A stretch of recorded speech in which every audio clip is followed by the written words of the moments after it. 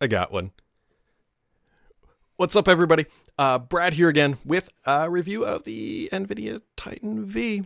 This is the top dog. This is the the king wolf, the alpha male, the whatever you want to call it in the graphics card industry.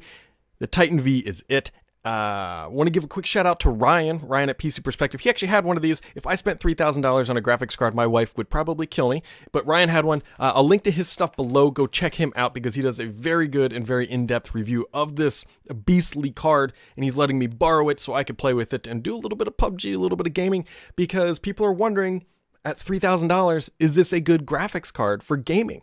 And the answer is yes but not really. Let me kind of explain here. Let's let's just jump through a, uh, couple of the high specs here. Uh, CUDA cores 5120.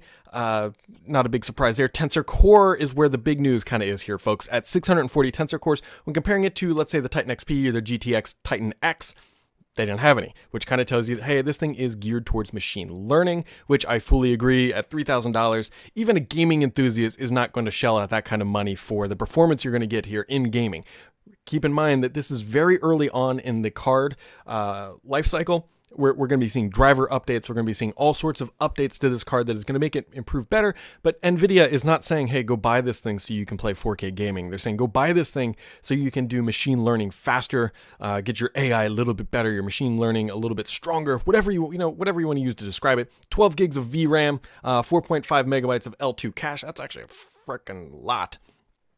Uh, and then, you know, the tensor performance is at 110, 110 T-flops, and the single precision is 13.8 T-flops with double precision at 6.9. So this is this is a big card. This is a big card in terms of performance. That is not a surprise. This is, I'm going to say $3,000 many, many times here. But let's take a little uh, slow look here at the card. And it is, yes, it is actually a little bit kind of a silver goldish color. Kind of hard to describe, but you can see that is on a white desk and a white background, and that is a true color uh, representation of what the card looks like. Very much a blower design. No big surprise here. That's how all these Titan cards look like, and standard power setups. Nothing really too fancy on the back, just your basic black NVIDIA Titan V that we've seen, uh, you know, on most of the Titan cards. And it's this looks like from a if you didn't know you'd be like, oh, that's just a standard Titan, except that it's well now the latest edition and it's running on the Volta architecture, which I think is going to be kind of a hint at what's to come here. And like I said, of course, it's a blower design, which means it's going to be a little bit louder than you uh, than you might get on an internal only card that has the fans like from EVGA or the or the likes. So here are some benchmarks. The biggest kind of notable update you can kind of see here is actually in that time spot in the top left at 10,065.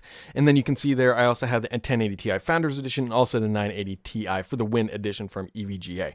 Now, if you look at like the Rise of the Tomb Raider and Ashes, uh, that is on the left side of the graph, it is in 4K and on the right side it's in 1440 and you can see that yes the the Titan V does perform better than the 1080 Ti and it should because it's depending on the configuration about $2200 more expensive. Roughly speaking if you can get a 1080 Ti for about 800 bucks or so which you totally can do now.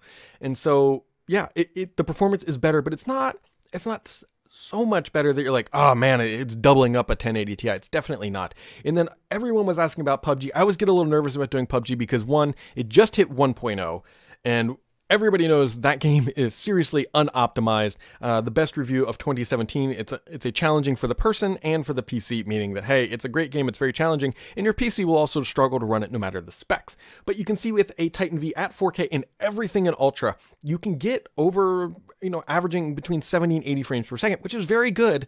But when you look at the 1080 Ti, you're not giving up all that much, and then you could save 2,200 bucks or put that into a, a better CPU, faster RAM, faster storage, all that good stuff. And then of course at the 1440, you're getting a much better frame rate. But again, the trade off here, folks, isn't massive. And that's, I don't blame NVIDIA, I don't blame anybody. This is a card that's not designed for gaming. But if you want the best gaming card, this is it. I mean, there, there's no question. This is a card for somebody who says, you know what, money is not a problem. And if that's your thing, go buy like three or four of these things and slap them into a rig. But for the average person, not even the average, even the gaming enthusiast, this is not the card for you. This is for the card where money is no object because the performance is out of control. But it's also $3,000. You can build a very nice, a very, very nice gaming rig with monitors, full setup, and everything and make this card or make a computer that will run and you'll get 60 frames per second at 4K. So this card is for somebody who wants their machine learning to just be kick-ass. They want the best performance because their boss is yelling at them and they, you know, it's corporate money because who cares? It's corporate money. Let's just spend everything we can. So, kind of the review here, folks, is that yes, this is this is a look at the future. I think is the better way to describe it on the Volta architecture, which uh, the current I believe is running on the 10 the 1000 series is running on the Pascal, like the 1080, uh, 1070, 1060, those kind of things. And so Volta is the next generation that we believe that the, what will be uh, likely the 1150, 1160, 1170, 1180, 1180 Ti uh, will be based off of. And so this is, you know, they start at the top and now they're going to scale things back. And then I don't know exactly when. Some people are saying maybe as early this year. I, that seems a little early for me personally, but then again, that very well could come out. Of course, like the 1180 Ti typically lags uh, quite a bit behind the announcements of like the say the 1180. But Volta is appearing. What's going to be next? This this announcement surprised everybody. I was actually uh, at the Snapdragon event a few weeks ago when this thing was announced. So coming back, I kind of had to get brought up to speed about it. And speedy this thing is. It really is good. The question is, I've said this already, but you know, people tend to jump to the end of the reviews. Should you buy this thing? Absolutely not. If you are sitting in your house thinking, God, I play PUBG all the time. Should I buy a Titan V? Don't. Like, it's not worth it. First off, it's so early that the optimizations for even gaming at this point uh, are not there. We're early driver days. This thing is just fresh out of the gate. And this is NVIDIA making a really big statement against uh, AMD, who's been pushing out some cards, and they want to, you know, solidify their position at the top of the market. I wonder if we're going to see a bunch of this stuff at CES. You know, there's there's always custom high-end fancy rigs. I'll be at CES, by the way. If you're going to be there, let me know. But this is this is the card. I mean, th this is the one. From noise output, it's exactly like any other blower card from NVIDIA. I, I personally do not like blower cards.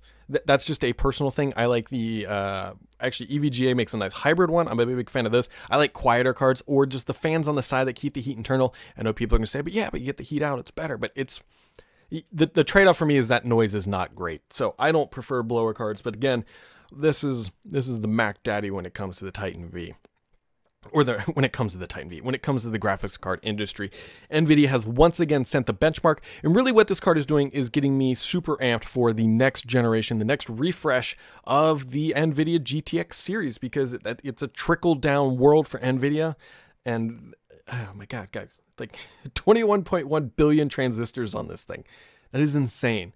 Uh, for a little bit of perspective here, the Titan XP had 12 billion and the GTX Titan X on the Maxwell architecture had, what did it have? 8 billion. 21.1 billion transistors. I'm, I'm very afraid to like even drop this thing because Ryan would be super pissed at me. Um, but don't worry, Ryan, I haven't dropped it yet. Yet. So, uh, guys, what you need to know about the Titan V. Awesome. It, it's excellent performance in gaming. Yes, you can put it in your gaming rig and get superior performance to the 1080 Ti. No, you should not because it costs too much money. The value is not there. This is not a value proposition. This is for somebody who drives a Bugatti on the weekend um, because their Mercedes uh, and Ferraris are all at their other houses type scenario. And so uh, this is the Bugatti Chiron or Chiron of graphics card. It's the top end. It's the top dog. It's just not all that practical for everything else. So uh, with that, guys, uh, you can scroll down below and get at my full review. And as always, appreciate you guys tuning in, and we'll catch you right back here next time with the next tech toy.